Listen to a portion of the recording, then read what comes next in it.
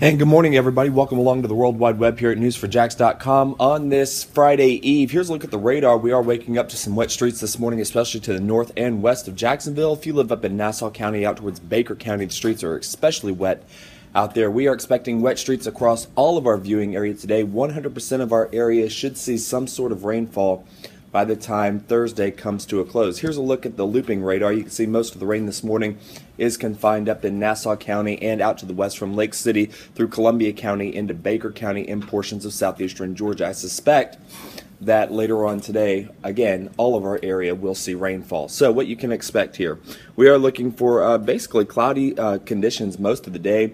Showers will prevail and then should begin to clear out heading into the overnight hours tonight making for a beautiful finally Friday. Here's your forecast for today.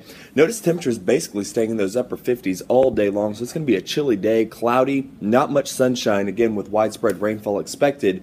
Uh, rain chances north of 70% for most areas. Your seven day outlook would indicate Normally, after a cold front, we get some much colder weather in here. This is not the case this time. The front that is moving through is not of Canadian origin, not really looking at a whole lot of cold weather behind it, but it will make for a beautiful weekend, it looks like, Saturday into Sunday. Before temperatures finally move up into those mid to upper 70s, some areas pushing 80 degrees by early next week. So, again, um, the pattern changes continue here across our region, and uh, we'll have another update coming up this evening.